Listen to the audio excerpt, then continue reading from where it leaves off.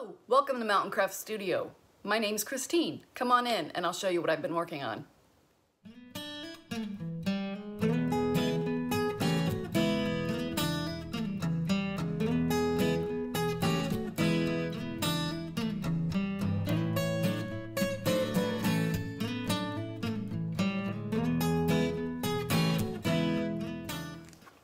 So during my last video, I showed a little kit that Stacy Nash had put together for our Fancy Works um, retreat in Bloomington.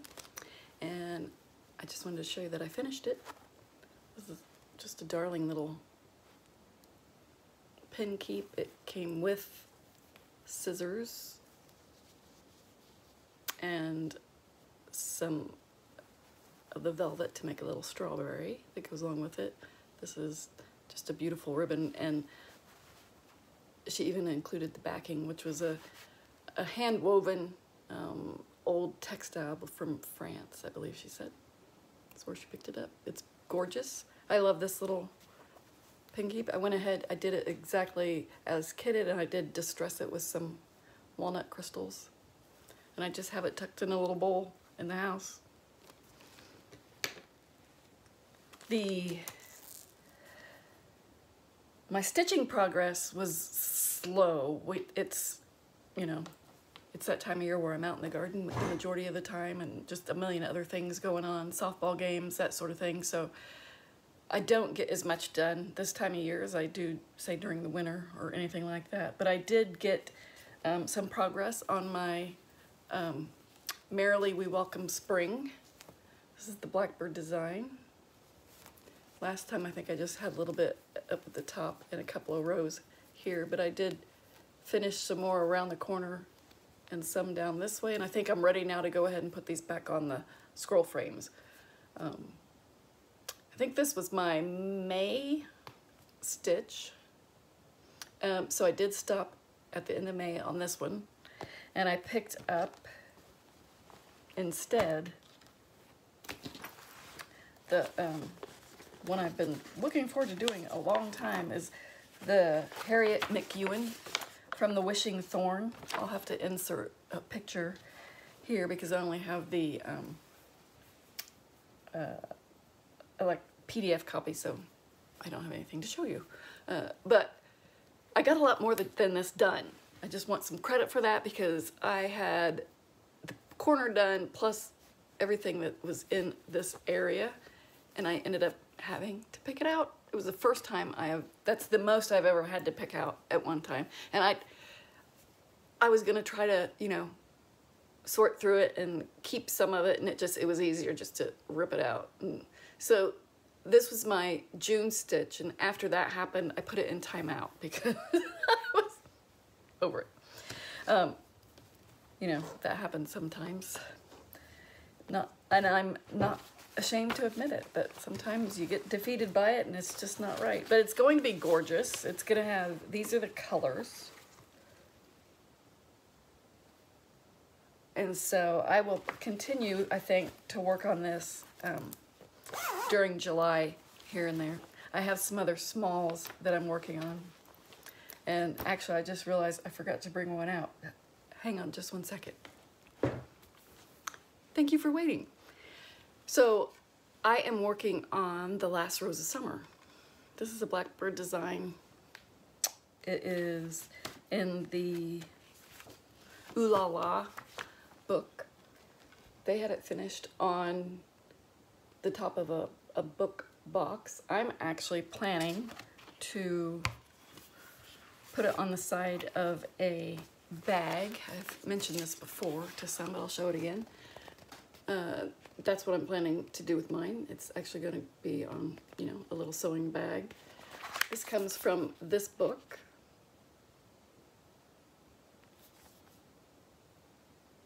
I'm pretty sure you can still get this. It is a Martingale book though, so you'd have to, if, um, you may have to get it on the secondary market if you can't find a current source. Uh, these are the colors the, of fabrics that I'm gonna, I'm going to use. I've noticed that I say I'm gonna a lot. Way more than I ever thought I would. so this is the stitch. These are the colors that are gonna go into the bag. I'm excited.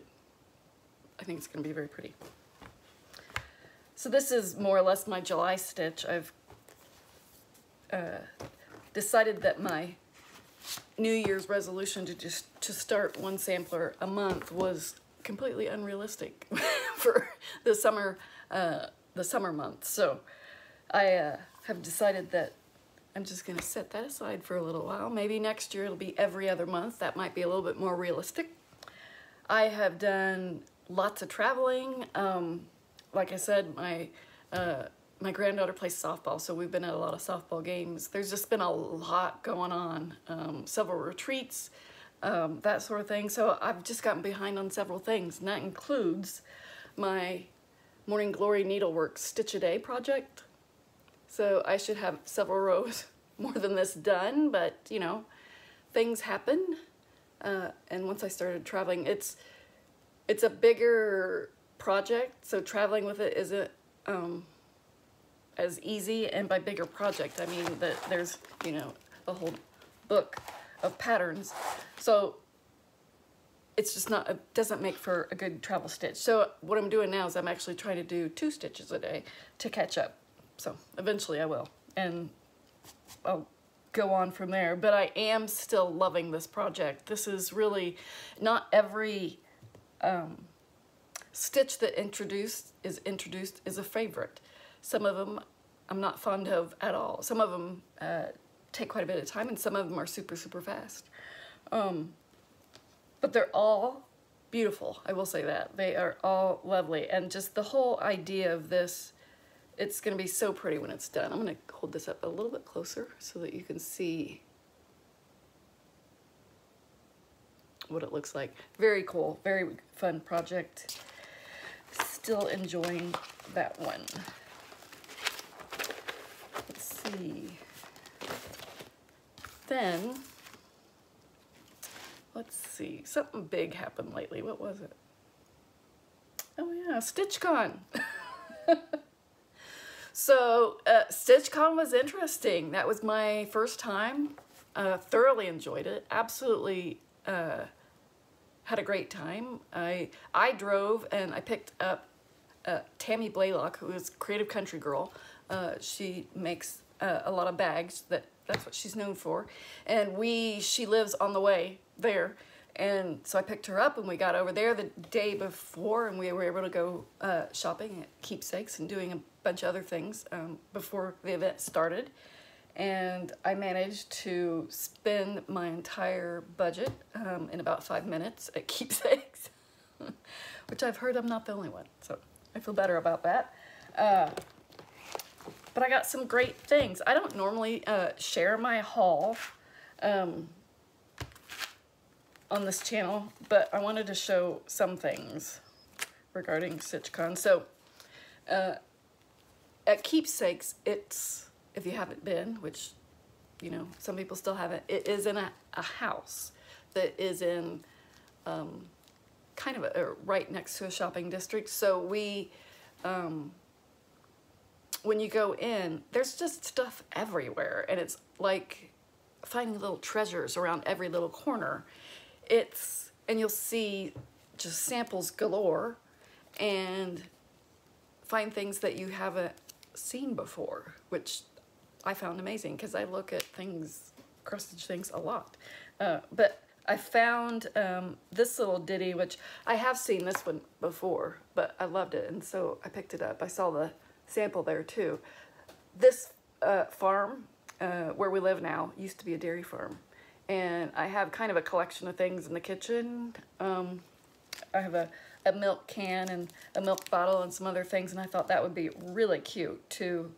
Um, this one's called Bessie too. I just, how can you not like that? Uh, but I bought that because I do want to get that one finished fairly quickly. That's going to in, invade my uh, 2023 list of things to stitch.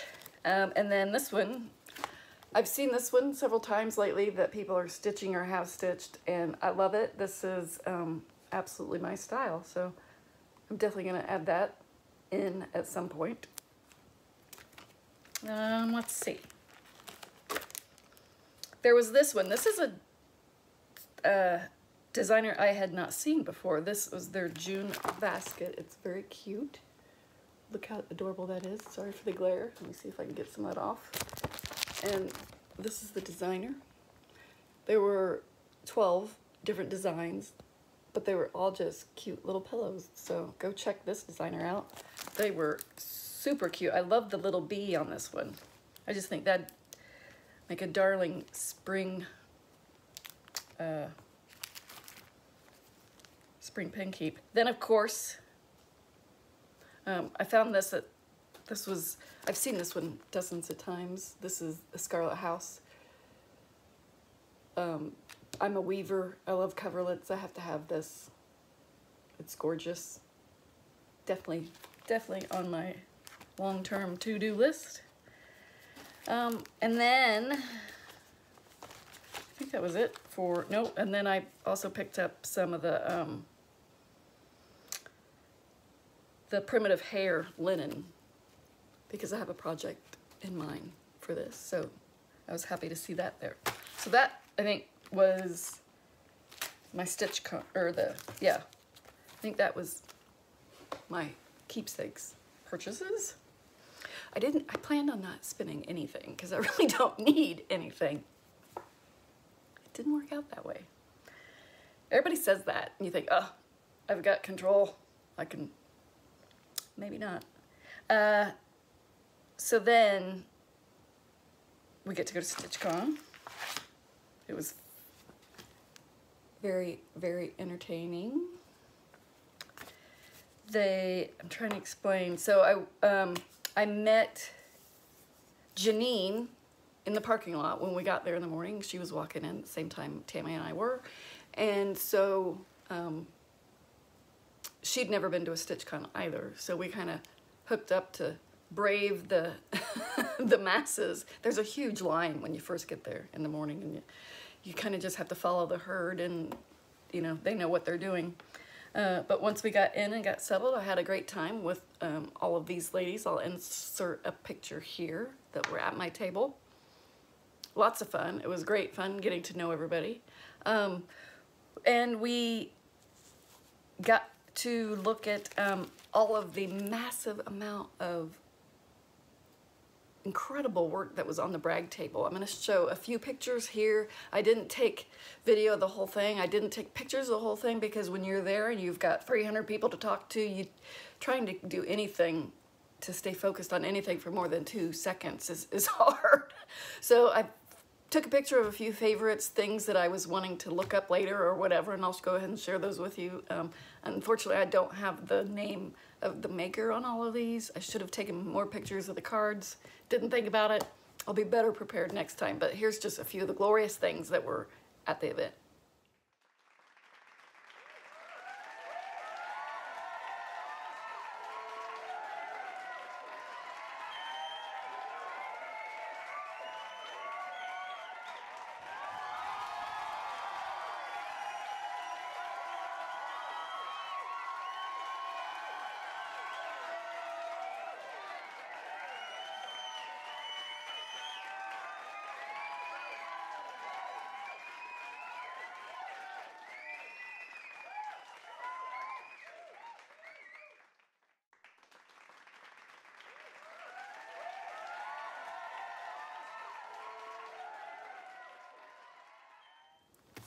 Then there's the annex, which is just a huge room full of wonderful goodies of trunk shows that people send in uh, that you can go in and shop from.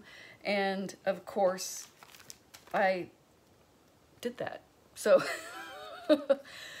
uh, it took me a while. I actually let, uh, let it go for a while, but then I, I just had to have a few things. So one of them was um, Cozy into Winter by Jeanette Douglas because that's just classic, beautiful Christmas. I don't do tons of um, holiday decorating anymore. I used to go all out, but not anymore. Um, but I like that. That could work. Um, and then Teresa Kogut. Her, she had all of her samples were there, and if you see those in person, I mean, you just, you know, you can't help but be in awe. She is such a wonderful artist and does such a great job with color and whatnot. This, um, maybe I took a picture of these. If I did, I'll, I'll insert those here. These, this is Tuna Bush, which she had there. I'm trying to remember what it was displayed on. I'll put throw in a picture. And then come to the garden. And maybe it's because I was so busy, you know, I'm doing a lot of landscaping work this year. Finally, we have some landscaping going in, but I just, man, this is so pretty. And seeing it in person, it was just gorgeous. Gorgeous. The border, everything about it is just beautiful. Love it. Uh, so I'm, hopefully I'll get to doing that at some point. There were um, a couple of other things. Actually, I think these came from keepsakes. So you're gonna notice a trend as I go along um, in some things. Um, I have a thing for sheep. I used to have, this is Brenda Gervais. Boo and Bobble. Absolutely adorable. Love that. Um, I used to have sheep. I used to have, I started out my little flock. I had a, a hobby farm, more or less, and a fiber farm. And I had, um, I started out with four little Shetland sheep. Uh, their names, uh, they were named after the Golden Girls. Each one of them, um, surprisingly, I named them on the way home when I picked them up and they all kind of fit their characters. Sophia was my, uh, right by my side. She was like a dog. She just oh, would come up and ask to be petted. But anyway, I love sheep. I think they're one of the best animals ever. People don't realize how um, much character they have and how um, affectionate they can be. They're just like dogs. Like they are absolutely as friendly as can be if they're around people all the time. If they're not, then yeah, they're like the sheep you see where they all, the huge herds and things like that, if they're not used to people. But if they're used to people, they are absolutely unique, each and every one of them. Um, I had one that was black. Her name was Shirley. It was Laverne and Shirley. And she was always pierced with something, like a twig or whatever. She was my goth sheep. She was the only one that was standoffish, but the rest of them were extremely affectionate. Uh, I saw this Lulu's Flock, Chessie and me. This was also um, done at Keepsakes, and I'll insert, a picture here. They had, I think, done it with um, an alphabet instead of some of what's on here. I think it's the same one. Maybe I'm thinking of something different. Anyway, those sheep are so cute. They look just like the ones that are um, with the black heads and the curly hair. What are they? Oh, the Valais black nose sheep. They're the cutest sheep on the planet. So had to have that. Uh, and then there were some free things. There was a uh, Summer Bees and Flower Stitch that Teresa Kogut had uh, given away. There was this, there was a free table and this was on the free table. So I picked it up. There was no, it was just, it came with the other stuff. There was no actual envelope or anything with it, but that's fine. I will do it. I like it. I'm not sure where this came from. It just says instructions to work the green sampler. Um, so I don't know. There's no way for me to, it says Kathleen Smith. Her sampler worked January 20th, in the year of our Lord, 1987, West Chesterfield, Massachusetts. If anybody has any more information on that, and they can let me know, that'd be great, because I don't remember this. Uh, and then there was a book that Family Circle Make It Country. I think I have this way back when it looks familiar anyway. Um, there was one night I wanted to sit and just read at the end of the day to try to focus on some stuff. And I, so I picked this up thinking I would take it back and put it back on the free table the next day. But then there were things in here that I liked. So I thought, hmm, I think maybe I'll keep this for a while. Um, just some cute things. There was, this is a crochet thing or something like that, but you could readapt that pattern to a cross stitch or whatever. So that was fun.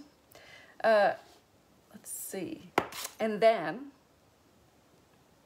So, uh, every night there was something different going on. And one of the, the I think the last evening um, it was, there was an auction um, to raise money and the um,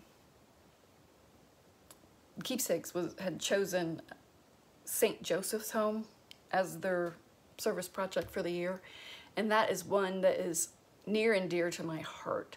I, um, growing up, had a cousin uh, who uh, had cerebral palsy and even though he was older than me, I often uh, would stay with him when, when his parents had to go out and that sort of thing. And um, he was one of a, uh, he was a twin. And so it was always interesting to reflect on his life and then his twin brother's life. Um, but then I also, as an adult, when I married my husband, he has a sister that also had special needs. And if you know these people and intimately like that, you know that they are gifts to the people, to the families um, that they're in. The ability to see life through their eyes is just a wonderful, wonderful thing. And if there's a way to improve their lives, um, we should absolutely be doing it, right? Whatever it is. And so J St. Joseph's Home is trying to do that. They are trying to provide some therapies and things that um, will increase the quality of life for people like that and their families. And so it was an important, um, uh, it was a, an important cause near and dear to my heart. So when they started auctioning things off, I knew I was going to bid on something. And so I also knew that of the things that they were auctioning, the one thing I really needed and didn't have um, was some silk. And so I went a little nuts. and I went ahead and bought the entire set of the Thread Gatherer Silken Colors. Hopefully you can see that. These are gorgeous. Like this whole, this clump right here is the solids. There's all kinds of stuff. And these are the variegateds. And I think these will be absolutely perfect for when I'm working on my reproduction samplers. My Scandinavian samplers, a lot of them are done in silk. Uh, and I think these colors are going to be perfect. So excited. Um, and then I forgot these. The Speaking of silk, uh, I purchased these in the annex uh, from M&M's studio. She is a doll. We went to dinner one night. I just adore her.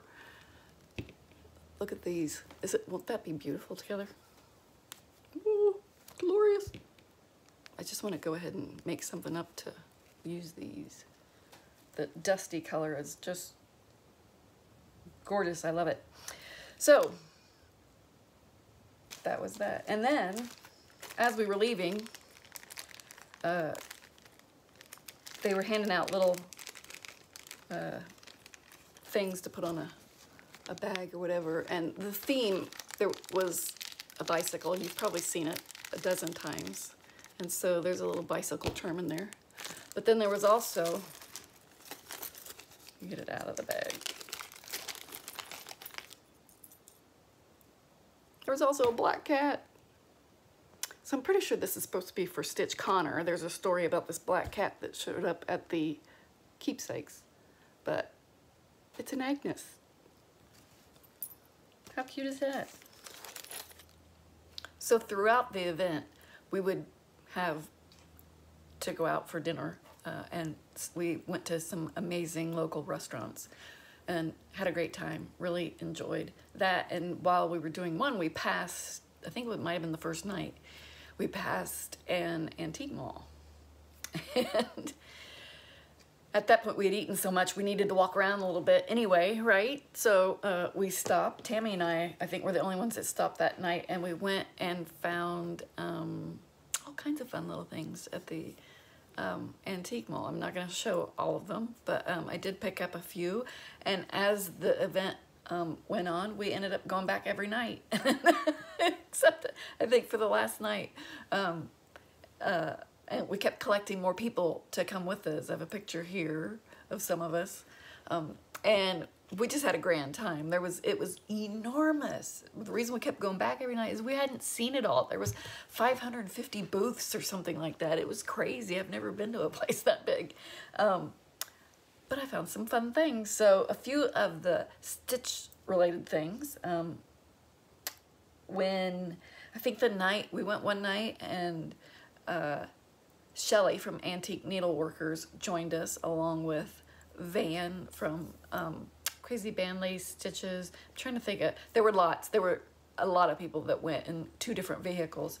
And so um, as we were walking around, at one point, um, uh, Shelly had picked up, I think maybe Van picked it up and handed it to Shelly. Or no, maybe it was Janine. Anyway, uh, Shelly had this in her hand. And I grabbed it from her. I said, that's mine. and she let me have it because I told her I have a perfect spot for it to go. I knew that I wanted it. It was the right shape to go on top of my giant spool, thread spool. How cute is that? Love it. So thank you, Shelly, for letting me have it. The um, one of the other fun things I found were these little vintage um, says Twinkle on it, and they're just these little tins.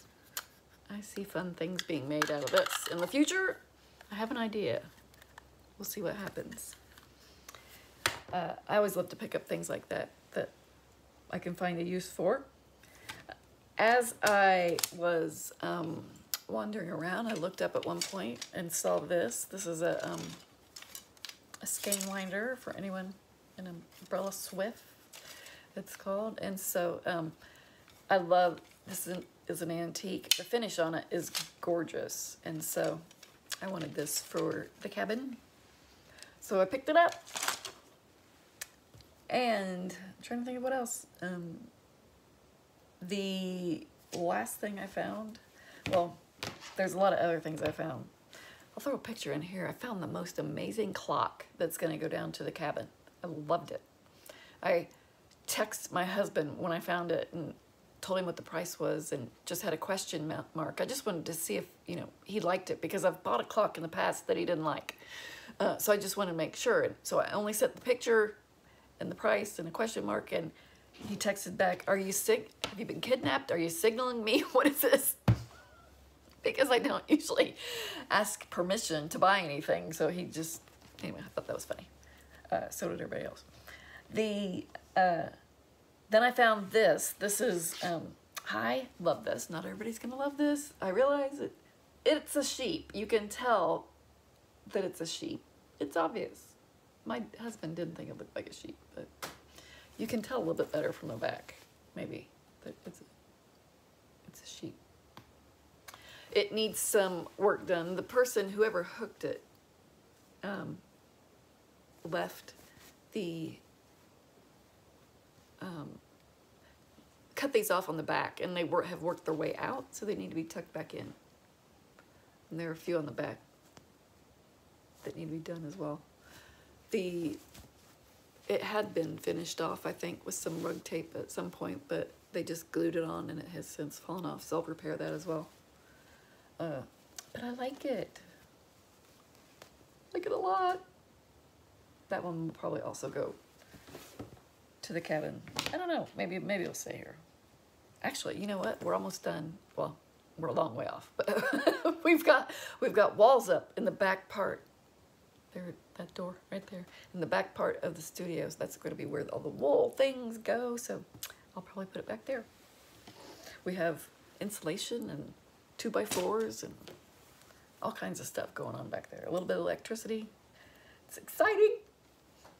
Uh, definitely looking forward to that. So, after all the excitement of StitchCon, I get back home and I'm relaxing and something shows up in the mail. And I'm like, ooh, what's this? And I open it and I'm just flabbergasted when I see it. So uh, a lot of you will know her as the Selfish Stitcher on Instagram. Um, her name's Anne. And she found this and repaired it for me and sent it on. So look at this. It's a needlepoint. Looks like it was a a kit, like maybe a dimensions kit from the 80s. It says 19, circa 1980 on it. But look how perfect that is for, not only does it look like my cabin, right? But I sent her a picture.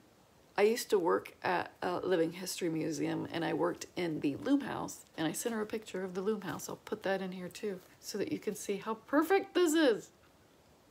I love it. She said she considered making it into a project roll uh, for me, which I thought, oh, that's a good idea. I haven't quite figured out what, what I'm going to make out of it, but I love it. It's definitely going, um, it's definitely going somewhere where I can see it. I don't want it necessarily rolled up and put away, so probably maybe not a project roll. Um, I've got a couple ideas going on. But I absolutely love that. That's such a wonderful stitchy kindness. Thank you so much, Anne. So cute. It even has an Agnes look. ah, too cute. Okay, so I'm going to switch places because I've got some quilty things to show you and it'll be easier if I take you over there. So a former classmate of mine contacted me and said that they were trying to raise money to uh, bring back the, the midway and the fun of the local 4-H fair where I grew up. Uh, and I said, absolutely. I know that the when these small communities um, just can't compete with some of the bigger ones in order to attract the carnivals and so it becomes very expensive um, to try to do everything. And it's something that you know I have fond memories of and um, it's where my grandkids live and I'd like for them to have some of the same memories. So I said absolutely. I happen to have this Moda kit in my stash and I knew that it would be perfect with being it farm related and so I went ahead and put it together and um, long arm quilted it and I'm gonna give it to her this week and hopefully it will help raise some money um, in order to support you know future years and I'm already starting to think of um, trying to get ideas on something I could make for next year as well for the same purpose. Um, so if, if you have any 4-H fair related ideas for a quilt, let me know. Thanks.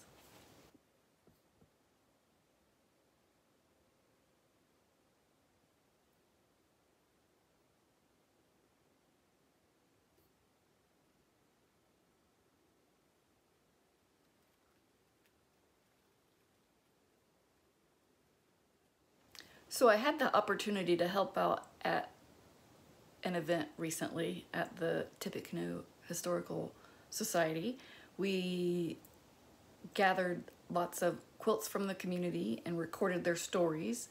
Uh, I was able to help assess um, the quilts, date them, um, and determine what the names of the the patterns were. Um, was great fun. The Historical Society actually has, in the past, recorded many um, quilts, not only from their collection, but others in the, the quilt registry. Um, I'll put a link in the description box below if you um, are interested in learning a little bit more about antique quilts. The, the quilt registry is a great place to go and uh, do some research uh, on quilts that have been um, recorded there from all over the country. The quilts that I took with me at were quilts that were definitely from the Tippecanoe County area and so um, we were able to record things about them such as um, the the I had some really old thick quilts that were my brother and I used when we were kids. Um, our farmhouse didn't have any heat upstairs and so we needed quilts that were that thick. Um, but that's just the kind of story that we were hoping to capture uh, about the quilts.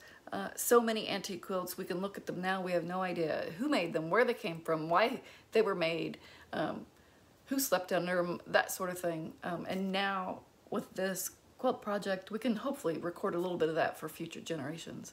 I'll insert some more photos here so that you can see just a few of the things that were um, that we were able to take a look at that weekend.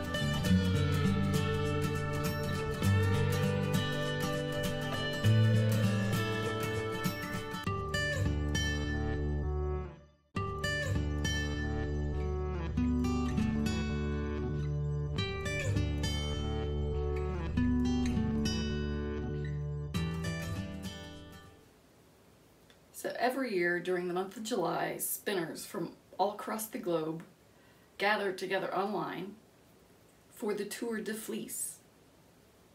Every day that the Tour de France runs, spinners take to their wheels and spin as much yarn as they can. Some people are incredibly competitive um, and they spin miles and miles of yarn. Other groups get together and just enjoy the um, camaraderie of a team. And some people just spend 15 minutes a day or whatever. There's lots of different uh, ways to go about it. And uh, in the beginning, it started out as a charitable project and it just has grown into a, a huge thing that all fiber artists participate in if you're a spinner. I've been doing it for years and years and I look forward to it every year. I started spinning back when I first bought those sheep. I bought four little Shetland sheep uh, in order to keep the uh, the lawn mowed. We had uh, seven acres and my husband, you know, got really tired of, of mowing all of that. And so I said, you know, I think if we got some sheep, we wouldn't have to mow so much. Which was true. It's absolutely true. Um, in the end, looking back, it probably would have been less expensive to hire someone to come and mow it. But that's, that would have taken all the fun out of it. Uh, so we, I brought home my four little sheep and enjoyed having them and then at one point said, you know, I think I'm supposed to do something with their wool. I gotta learn. And uh, I took a class originally at a place um, in Martins, near Martinsville, Indiana. Um, what was the name of it? It's escaping me. It's not there any longer. They ended up moving to Maine, I think. Um, but it was just a, a wonderful place to go and I was able to spin on several different wheels. Um, I knew that I was I knew that I was only ever going to have one spinning wheel. Um, and so I wanted to buy a good one and one that worked for me. All spinning wheels are a little bit different. And um, I remember uh, working on a Schacht Matchless, which is what I'm spinning on now and it was going to be able to do everything I ever wanted it to do forever. And that is still true. Um, I actually bought, this is a cherry version. Uh, they usually come in maple. Uh, but I since have collected a few more spinning wheels than this. Um, but this is the one that I go back to all the time. It's, uh, I have the most accessories for this wheel, um, so that's part of it. Um, but it's just a beautiful wheel that is a pleasure to spin on. It's a workhorse. So whether whether I want to make really tiny fine lace or if I want to make big thick chunky yarn, this wheel can do it all. So uh, in most of my projects, no matter what it is, whether it's you know stitching or quilting or whatever, I usually am a product motivated crafter. Um, with spinning, it is not, it's absolutely all about the process for me. I, this, as you can see, is very calm. It's something you can sit and do and watch while, while you're watching TV, or in most cases, I sit and I have these windows, these curtains open, and I just watch what's going on out there in the world. And it's my calming time. It's very meditative. Uh, you're focusing on what's going on in between your fingers and the feel of the, the soft wool. I'm spinning a merino nylon blend here, which is super soft. Um, and it's just the rhythmic motions of your feet is, um, it's very therapeutic.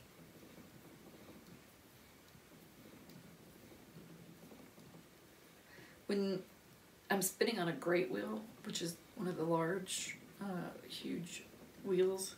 Um, it's also uh, therapeutic in its own way, but it's different. There's more physical activity involved. You walk back and forth. A lot of people call it a walking wheel. Um, you're moving your arm in big circles, um, that sort of thing. I, I still enjoy spinning on a great wheel, but not as much as I do on this type of castle wheel. I have a Jensen at the cabin, which I love. Uh, a Jensen is a, a manufacturer. He, it's one man, he's a craftsman, and he just makes absolutely beautiful, beautiful wheels. And my friend Christine, uh, we uh, swapped some items one time, and she gave me hers. She had had it for years and years and never ended up becoming a full-time spinner. She was a full-time quilter, so I gave her a hand quilting rack that I never became a full-time hand quilter. Uh, so it worked out beautifully. Now, I love that wheel. It's fabulous. It's also a pleasure to spin on. Uh, if you ever think that you might want to try spinning, but you don't want to go out and buy a spinning wheel because they are rather expensive, um, you might want to try learning on a drop spindle first. Those are absolutely um, more affordable. The act of doing the drop spindle is, um, they actually, when I learned, went to, took a class to learn how to spin, they first taught me on a drop spindle. And I think that everybody should probably learn that at first. Um, it just gets you to understand the mechanics of what is involved in making yarn. And it will make you appreciate the spinning wheel immensely. um, I just had the hardest, I did more dropping than spinning when I worked on a drop spindle. It was hard for me. I still have several spindles. They're beautiful. Uh, the only issue with spindles is that they come, they're kind of like potato chips. You need more than one. Uh, so I try to steer clear of that. But spinning has brought me great joy over the years. Um, there's something just beautiful about it. And I think it helps, to, like, for those of us that enjoy history and that sort of thing, to, to kind of think back of what lives were like. They used to uh, spend, spend a lot of time doing this. I probably would have been okay with that. Not everybody would, but I, I would have liked it. But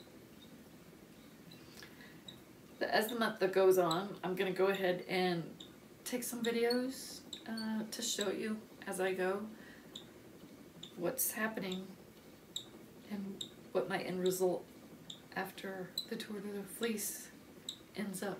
We'll see how much yarn I actually get spun. Thanks for joining me today. I hope you have a wonderful summer, and I'll see you again soon.